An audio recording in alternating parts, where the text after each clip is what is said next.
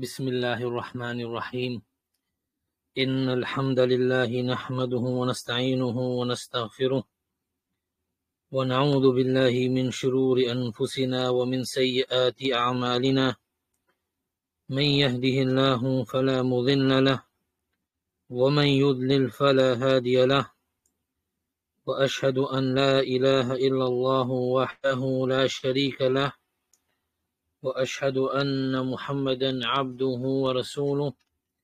أما بعد فإن أصدق الحديث كتاب الله وأحسن الهدي هدي محمد صلى الله عليه وسلم وشر الأمور محدثاتها وكل محدثة بدعة وكل بدعة ضلالة وكل ضلالة في النار.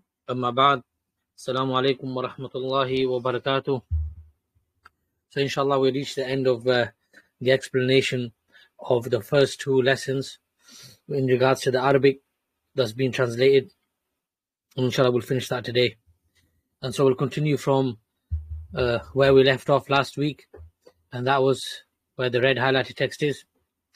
And the discussion, the lesson was about the greatest nullifier of Islam, which is shirk and the Shaykh Hafidullah was explaining the works of the original author Muhammad ibn Abdul Wahhab rahimahullah and uh, we reached this part of the explanation so inshallah we'll continue from here so the Shaykh he mentions part of the Quran ayah where it says وَمَأْوَاهُ يعني and their abode or his abode and the Shaykh he says meaning the living place or resting place or destination where that person will be forever, eternally. And that is in reference to the hellfire, that the people who commit shirk, who, who die as disbelievers, and their ultimate abode or resting place will be the hellfire.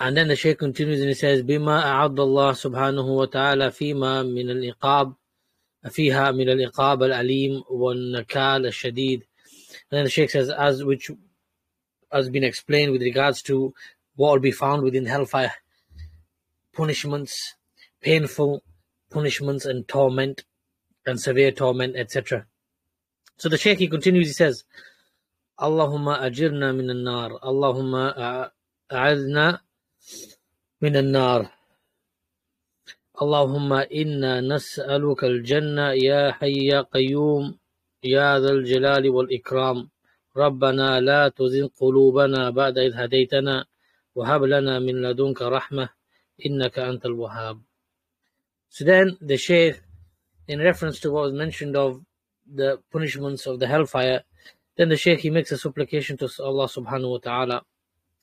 And he says, Oh Allah, save us and uh, protect us from the hellfire and its punishments. O oh Allah, we ask you for Jannah, to grant us Jannah. Ya Hayyu Ya Qayyum, Ya Dhal Jalali wal Ikram. And then the, the dua within the Quran itself, ربنا لا تزغ, لا تزغ قلوبنا بعد إذ هديتنا وهب لنا من لدنك رحمة إنك أنت الوهاب. Known dua. So the Shaykh he continues and he says, قال ومأواه النار وما للظالمين من أنصار. He quotes the ayah, and this is from, let me see, pull this up from the translation of the meanings. This is from Surah Al-Fatir, I believe. Let me just check.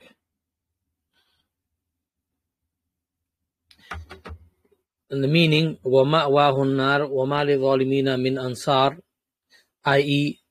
that the zalim they won't find a helper and the zalim here is in reference to not the, the oppressor as in oppression but the oppression of shirk itself the shirk, the shirk that they commit and they won't find anyone to help them nor protect them nor save them from the punishment of Allah wa ta'ala If somebody can double check uh, the reference to uh, the ayah, I don't think it's Surah Al-Fatir. I can't find it in the in my indexes. So just have a look. It's one we went through, I think, in the last two lessons, three lessons. It's towards the end of the ayah. It may be from Surah An-Nisa, I believe now. If I'm, uh, correct me if I'm wrong. So um, the Shaykh continues. It says, وَمَا لِظَالِمِينَ min ansar." and he says that the meaning, he says, وَالْمُرَادْ بِظَالِمِينَ هُنَا أي الْمُشْرِكِينَ As I mentioned, the Shaykh says the meaning of ظالمين in this ayah is in reference to the polytheists, the one who are committing shirk, the, the, the disbelievers, the one who commit shirk. The Shaykh says مثل ما ذكرنا في الآية الكريمة التي في سورة الف... في سورة فاطر المراد بالظلم هنا الكفر بالله سبحانه وتعالى الناقل من الملة المراد الاشراك بالله عز وجل so then the Shaykh says also in this he says in the ayah uh, in the noble ayah uh, which is from uh, which is in Surah to Fatir he says that the purpose or the meaning of dhulm here is uh, disbelief in Allah subhanahu wa ta'ala, that the disbelief which takes you out of the fold of Islam, i.e. shirk here. And he mentions a, a shirk billah, shirk billah azawajal. Yeah, committing shirk with Allah subhanahu wa ta'ala. So then the Shaykh continues and he says, لأن الظلم يطلق في القرآن تارة ويراد به الشرك ويطلق تارة ويراد به ظلم ظلم النفس فيما دون الشرك so the sheikh helps us here and in understanding um, and he says with regards to the word ظلم oppression he says sometimes depending on the context of what we're reading within the Quran it is in reference to shirk polytheism and in in in another context depending on where we're reading and the context of what we're reading within the Quran or from the Quran then dhulm can also mean uh, oppressing oneself, i.e., committing sins. You committing sins yourself, that's oppressing your own self, yeah, or your own soul. So then the Shaykh continues, he says, فمن أم فمن أمثلة إطلاق الظلم وإرادة الشرك قوله هنا وما للظالمين من أنصار وقوله سبحانه وتعالى والكافرون هم الظالمون وقوله سبحانه وتعالى إن الشرك لظلم عظيم ونظائر ذلك كثير So then the Shaykh brings uh, some examples of the first meaning where uh, where dhulm is in reference to shirk or polytheism. Then the Shaykh mentions an ayah that we already read and a couple that I believe we all re- uh, have read in previous lessons. So the first of them, وَمَا لِلظَّالِمِينَ مِنْ أَنصَارٍ And the next one, وَالْكَافِرُونَ هُمُ الظَّالِمُونَ And the kafirun, the disbelievers, they are the zalimun, i.e. the ones who commit shirk and polytheism. وقوله سبحانه وتعالى إن الشرك لظلم عظيم uh, لظلم عظيم Indeed, shirk, polytheism, uh, polytheism is a great oppression. Yeah, لظلم uh, عظيم in reference to shirk. And the Shaykh says the examples of this are many within the Quran, but these are just a few that the Shaykh has uh, acquainted us with. So then the Shaykh moves on and he says, وَتَارَةً يُطْلَقُ الظُّلْمُ ويراد به ظلم النفس فيما ما دون الشرك كما قال الله سبحانه وتعالى ثم أورثنا الكتاب الذين اصطفينا من عبادنا فمنهم ظالم لنفسه ومنهم مقتصد ومنهم سابق بالخيرات بإذن الله ذلك هو الفضل الكبير جنات عدن يدخلونها And that's from Surah Fatir, verse 32 to 33.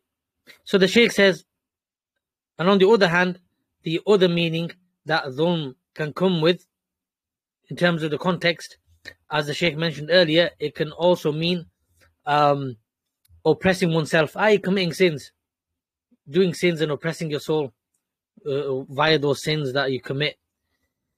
Uh, that which is not obviously shirk.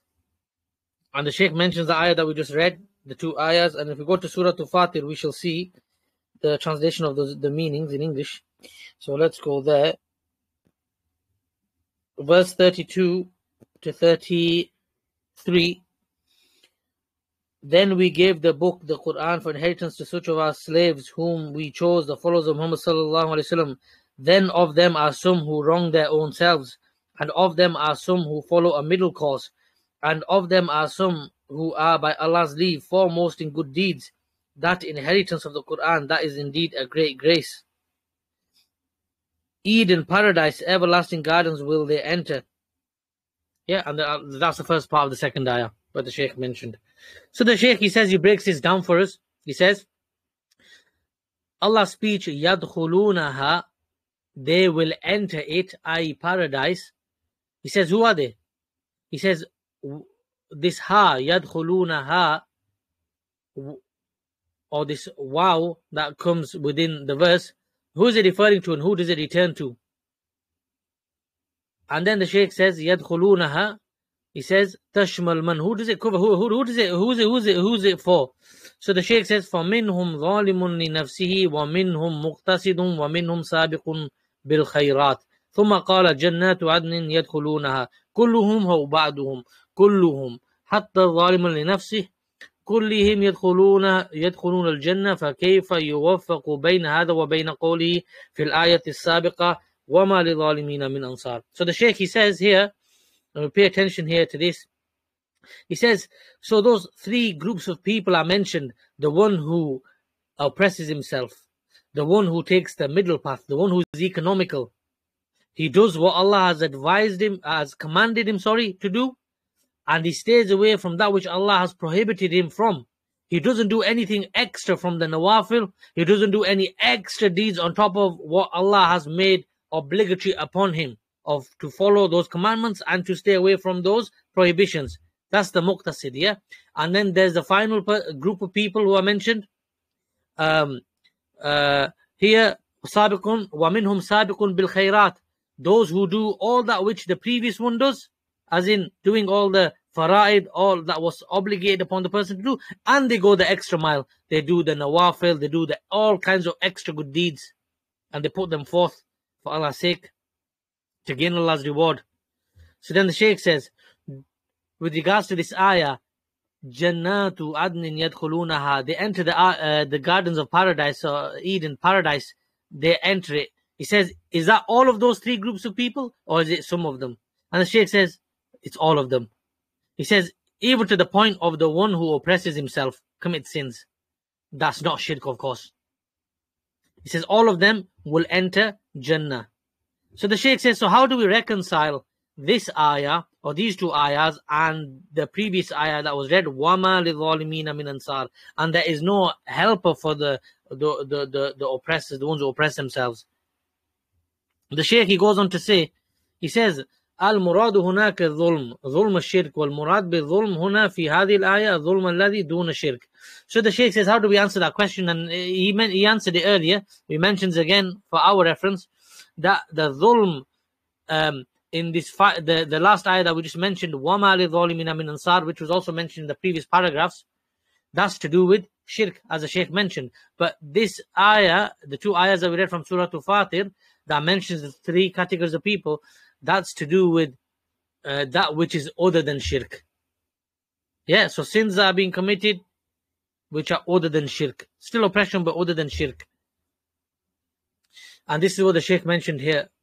And then he says, أي فمنهم ظالم لنفسه أي بذنوب والمعاصي التي هي دون شرك لأن السياق من أول الآية في حق المسلمين الذين ورثوا الكتاب ليس في حق الكفار so then the Sheikh says here that this, this ayah, when it mentions these groups of people, and the first of them is the one who oppresses himself, i.e., uh, commits sins and uh, misdeeds, etc., that is other than shirk, then the Sheikh says this these two ayahs and this ayah, it's in reference to and in, within context with regards to the, the rights of the Muslims, the Muslims. They're in the state of Islam, the Muslims yeah, who have inherited the kitab, yeah, as in the Quran, the, the religion, the deen. And it isn't in in it with it, and it, and it isn't for this ayah isn't for the disbelievers. So then the Sheikh mentions the next ayah says, ثم أورثنا الكتاب الذين اصطفينا من عبادنا فوصفهم الله بالمصطفين ووصفهم بأنهم عباده جل وعلا وذكرهم أقسام ثلاثة الظالم لنفسه والمقتصد والسابق بالخيرات وسابقوا بالخيرات كل هؤلاء مسلمون السابق بالخيرات الذي فعل الواجبات وترك المحرمات ونافس في في الرغائب والمستحبات والمقتصد So let's just stop there for a second. So the Sheikh mentions this ayah, ثُمَّ أَوْرَثْنَا الْكِتَابَ الَّذِينَ اصْطَفَيْنَا مِنْ عِبَادِنَا and he says this is in reference to uh, the Muslims. It's in reference to the Muslims and this the ayah from Surah Al-Fatih that we read is in reference to the Muslims. And then the Sheikh breaks down in more detail these three categories of people. أَظَالِمٌ لِنَفْسِهِ وَالْمُقْتَصِدُ وَالسَّابِقُ بِالْخَيْرَاتِ and he says all of these, they are all of these these three categories, they are Muslims. They're all Muslims. So the Shaykh says, السابق بالخيرات he says الذي فعل الواجبات وترك المحرمات ونافس في الرغائب والمستحبات he says so who is the one who are the ones who are described as asabiqu bil khairat, the ones who who put forth, yeah, and strive. He says, he says those are the ones who did all the obligations that Allah commanded them with. They carried out all the obligations that Allah commanded them with, and they left all the haram and all the prohibitory acts that Allah uh, prohibited them from. And also on top of that, they um, uh, you know strive, they compete in all the good kind of optional deeds and recommended acts. That's asabiqu bil khairat. Then the Sheikh says, and the muqtasid. So who's the muqtasid? He says, wal muqtasid alladhi al wajibat wa tarak al muharramat. So then he says al muqtasid. And al muqtasid can also be translated as somebody who's economical, economical, or middle, in the middle, or economical. And Sheikh says, what does it mean here? He says it means the one who carried out all the obligatory acts that Allah commanded him to carry out and left off all the prohibitions that Allah prohibited him from. He didn't do anything extra like this asabiq bil khairat. He just did the minimum was required. And that is the muqtasid. And then the Shaykh says, وَالظَّالِمُ لِنَفْسِهِ Who is who is in this category and what, do, what does it mean to be in this category? He says, الذي ظلم نفسه بالذنوب التي دون الشرك بالله جميع هؤلاء قال الله عنهم جنات عدن يدخلونها So he goes on to explain, Hafidullah says, وَالظَّالِمُ لِنَفْسِهِ the one who oppresses himself, i.e., he does, he falls into, he perpetrates sins, he falls into sins, he commits sins which are other than shirk which are other than shirk. And then the Shaykh says that all of these, Allah said about them that they will enter, as, as, as in the ayah that we read earlier, that they will enter paradise. And the Shaykh continues to explain away. He says, ولهذا بعض أهل العلم في كتب التفسير يعظمون شأن هذه الواو. في قوله جنات عدن يدخلونها ويفخمون أمرها لأنها رحمة من الله سبحانه وتعالى وفضل شمل الظلم الظالم لنفسه قال جنات عدن يدخلونها أي بما فيهم الظالم لنفسه So then the Shaykh says that that some of the uh, people of knowledge in their books of exegesis tafsir of the Quran, they glorified and they magnified the place of the letter wow in this ayah, i.e., going back to the ayah, فَمِنْهُمْ ظَالِمٌ لِنَفْسِهِ وَمِنْهُمْ مُقْتَصِدٌ وَمِنْهُمْ سَابِقٌ بِالْخَيْرَاتِ The wa, as you hear the wa, and, and, and and they magnified they magnified that and they put emphasis on that because all those they enter Jannah. And so the Shaykh says, even the one who oppressed himself and did sins, that is other than shirk, he will go into paradise. Then the Shaykh will explain this in more detail, particularly that, that part. So the Shaykh he continues, he says, لكن كما بين العلماء رحمه الله رحمهم الله السابق بالخيرات والمقتصد كلاهما يدخل الجنة بدون حساب ولا عذاب وأما الظالم لنفسه فهو يدخل الجنة لكن قد يمر قبل ذلك بمرحلة بمرحلة تطهير في نار جهنم.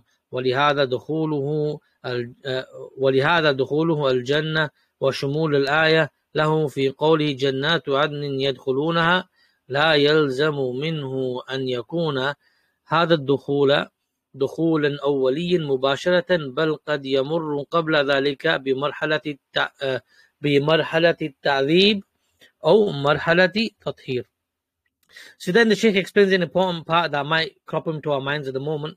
And he says, from what we've read so far, he says, however, as the scholars, may Allah have mercy upon them, have mentioned and clarified, the Sabiq bil Khairat and the Muqtasid, both of them, those two categories, those people who fall in those two categories, they will enter paradise without being uh, without being held to account, nor will they be punished. They'll go straight to they'll go straight to paradise. As for the one who committed sins that's other than shirk, the zalim li nafsihi, he will enter paradise. However, before that, there will be a period of purification in the hellfire. And the Shaykh says, and this is why him entering Jannah, it, uh, that entering of that person, this zalim li nafsihi, it covers in the ayah that we already read, it covers this person as well. Jannah Jannatu adnin yadkhulunaha. And the Shaykh says, finally, in this final sentence in this paragraph, he goes on to say, it does. It's not stipulated for the zalim li nafsihi, and that he enters the hellfire straight away and stays there, and that's it. But rather, the reason for entering the hellfire is to serve that punishment for what he did, and as a means of purification due to the effects of those sins. And once the person is purified, then he'll be he'll be able to enter paradise. So then the Shaykh goes on to say in the final paragraph here, ومما يدل لذلك أيضا أنك إذا قرأت سياق الآيات بعد هذه القسمة الثلاثية وقول الله فيهم جنات عدن يدخلونها بعد بعدها بقليل قال والذين كفروا لهم نار جهنم لا يقضى عليهم فيموتوا ولا يخفف عنهم من عذابها.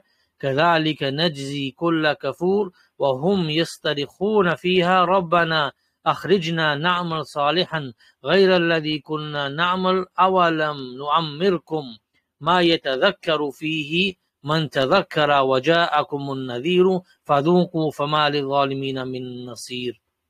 قوله للظالمين هنا يختلف عن قوله فمنهم ظالم لنفسه هنا قوله فما للظالمين أي المشركين الكفار وهناك قوله فمنهم ظالم لنفسه أي بذنوب والمعاصي التي دون الشرك So then the Shaykh, he says in this final par- paragraph, he goes on to say, and from what demonstrated and what's seen.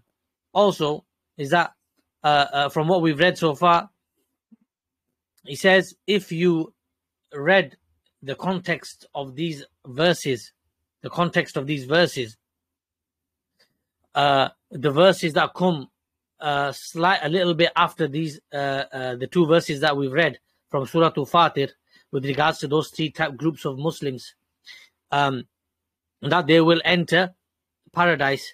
Then a, a few verses later, um, we see this ayah, وَالَّذِينَ كَفَرُوا لَهُمْ نَارُ جَهَنَّمْ to the end of this ayah. And that's verse 36 and 37. And if we look at the meanings of that, then we'll see what uh, Allah mentions. He says, But those who disbelieve in the oneness of Allah, Islamic monotheism, for them will be the fire of hell. Neither it will have a complete killing effect on them, so that they die, nor shall its torment be lightened for them. Thus do we require every disbeliever. Therein they will cry, Our Lord, bring us out, we shall do righteous good deeds, not the evil deeds that we used to do. And Allah will reply to them, Did we not give you lives long enough so that whosoever would receive admonition could receive it?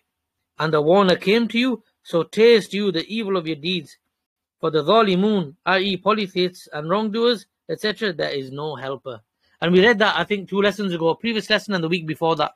The week before and a couple of weeks ago, this ayah. And the Sheikh then contrasts and compares again, just to remind us that uh, the ayah with regards to mentioning of those three groups of people that will enter paradise, that's in uh, is to the is to do with the right of the Muslims, the Muslims, uh, and the dhulm, adhalim li nafsihi, is it's in reference to, it's not in reference to shirk, but it's in reference to uh, the sins that the person committed as a Muslim, um, other than shirk.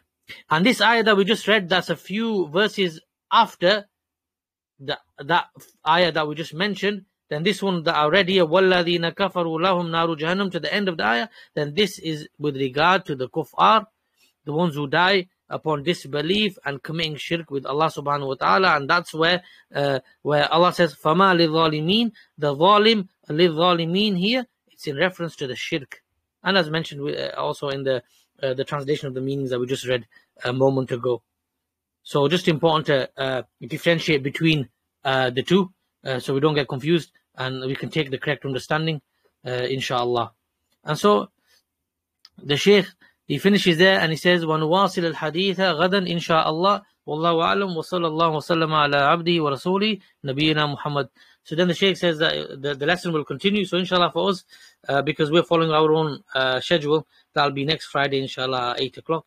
So see you then بإذن ta'ala. بارك الله فيكم السلام عليكم ورحمة الله وبركاته